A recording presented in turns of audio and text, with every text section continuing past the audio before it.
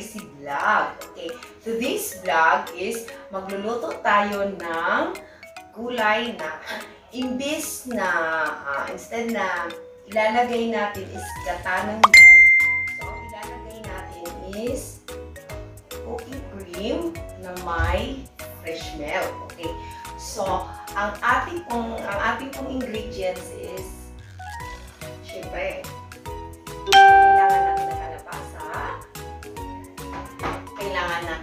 talong, yan, kailangan natin ng ampalaya.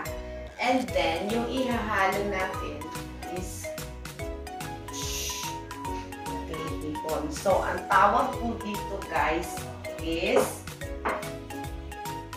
vegetable with cream. Okay.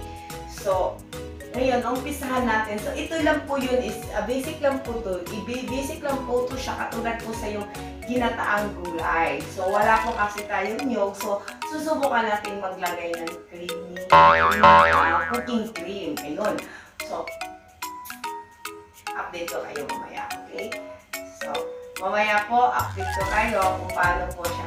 So, ito po is UA version po. Okay, so, UA version, hindi ko po alam. So, po